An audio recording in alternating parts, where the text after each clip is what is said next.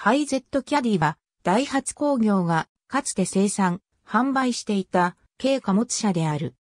乗用の軽トールワゴンであるウェイクをもとに、既存のハイゼットカーゴの派生、横展開車種として発売された2シーター専用モノスペース形、ボンネット版の商用車である。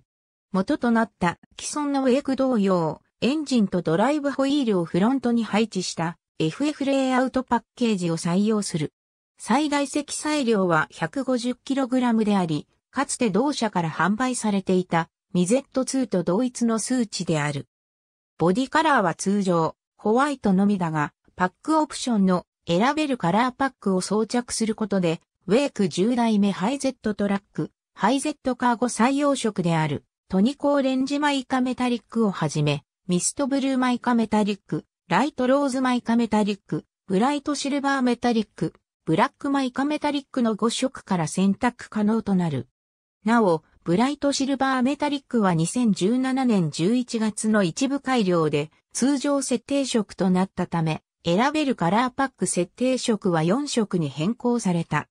フロントのフードガーニッシュを省略し、バンパーガーニッシュをブラックに、リアコンビネーションランプもバルブ式、リフレクター内蔵の専用品に変更するなど、ウェイクとデザインを差別化している。また、ステアリングホイールも、ウェイクとデザインが異なるものを採用している。発売当初、月版仙台の販売台数を計画をしていたものの、発売開始当初から月版販売目標を大きく下回る販売不振が続いており、特に発売開始から3年目以降の月版平均台数は50から60台程度という惨憺たる状況が2021年6月30日の販売終了まで続いていた。先述の通り、後部スライドドアを採用したモノスペースタイプのハイトワゴン型軽商用車であるが、前方にエンジンを収めたボンネットフードが存在するため、全国軽自動車協会連合会の新車販売統計では、軽貨物車内約、ボンネット版枠での集計が行われていた。なお、本車種は、コペン、ムーブキャンバス、ミラトコット、タフトと、同様、トヨタ自動車、スバルへの OEM 供給は行われなかった。トランスミッションは、ハイゼットシリーズで初めてとなる CVT を採用。また、ウェイク同様に E、S テクノロジーを導入し、クールドアイ EGR や CVT、サームコントローラー、樹脂化ボディなどを採用。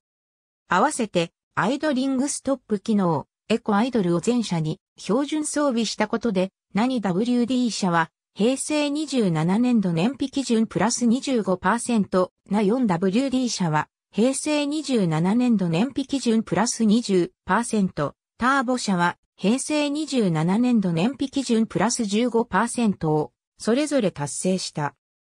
安全面では、軽商用車では、初となるカメラとソナーセンサーを備えた、衝突回避支援、システム、スマートアシスト2を、ダイハツ軽商用車で、初採用するとともに、イブド機能付け ABS、VSC&TRC、エマージェンシーストップシグナル、ヒルホールドシステムは全車に標準装備し、軽乗用車並みの装備とする一方で、軽商用車初となる LED ヘッドランプを全車にメーカーオプション設定している。スマートアシスト2は2017年11月の一部改良で、ステレオカメラ方式のスマートアシスト3に更新。車両だけでなく、歩行者も認識し作動する機能が付加された。音の侵入経路遮断と急車音材の配置によって静粛性を高めたほか、シートはリクライニングが可能なセパレートタイプを採用。ウレタンバンプスプリングの採用やスタビライザーを標準装備することによって、ソーダ安定性を高める一方で、コイルスプリングのバネ定数やショックアブソーバーの減衰力特性を最適化することにより、商用車としての耐久性を確保していた。